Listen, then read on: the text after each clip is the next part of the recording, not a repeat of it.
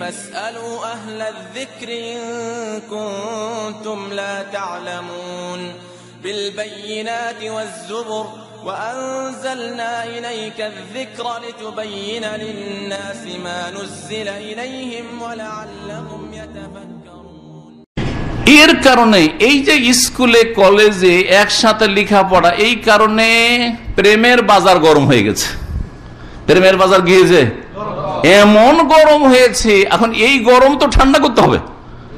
এখন এই গরম ঠান্ডা করবে কি করে? তখন জেনা ব্যবচার ছড়িয়ে পড়েছে, মুসলিম সমাজে অশ্লীলতা ছড়িয়ে পড়েছে। যেই মেয়েকে পছন্দ হইল, ওর বাপ দিবে না, বিয়ে মা দেবে না, ওকে বের করে নিয়ে পালিয়ে গেল। আর কোর্টে তো গেট খোলা আছে দেশে, কোর্ট ম্যারেজ হয়ে গেল, বাপ থাক আর না থাক, বাপের অনুমতি থাক আর না থাক, সাবালিকে মেয়ে এসছে আর বলছে পাঁচ বছর বয়স, সুতরাং দিল বিয়ে পড়িয়ে আর মাজাইজ কাজ করল, লানে কাহিল নেবে বলি বিনা অভিভাবকে বিয়ে শাদী হয় না। আউজবিল্লা কীভাবে অশ্লীলতা ছড়াচ্ছে? ভালো করে শুনে রাখেন।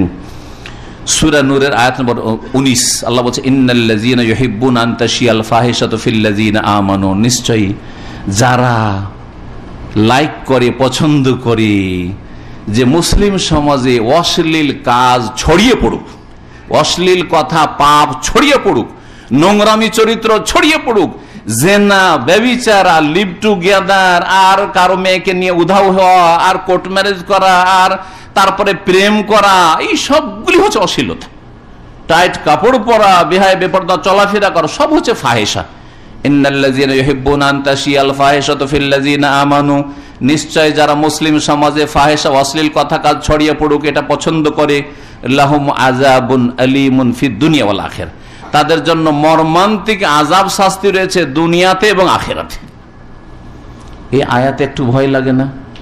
যারাই এই সুযোগগুলি দিচ্ছে, ছেলে মেয়ে একসাথে লেখাপড়া করুক।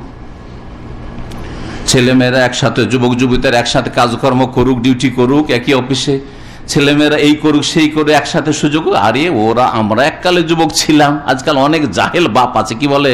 আমরাও তো এক সময় এরকম ছিলাম। সেজন্য আপনার মেয়েকে ছাড়িয়ে দেবেন। আপনি যদি জাহিলিয়াতের যুগে থাকেন, তো আপনিও আপনি জাহিলিয়াতের যুগে ছেড়ে দিবেন। আপনি যদি নোংরামি করে থাকেন, আপনার ছেলে মেয়েকে নোংরামি করার সুযোগ দেবেন না, তাদেরকে বাঁচাবার চেষ্টা করবেন। আল্লাহ যেন তৌফিক দান করেন। দুনিয়া, আখেরাতে কঠোর শাস্তি, এগুলো শাস্তি, যতগুলি হচ্ছে বালামস সবগুলি শাস্তি, কিন্তু আমাদের আসলে সূক্ষ্ম দৃষ্টি নেই, যার ফলে আমরা এগুলো বুঝতে পারছি না।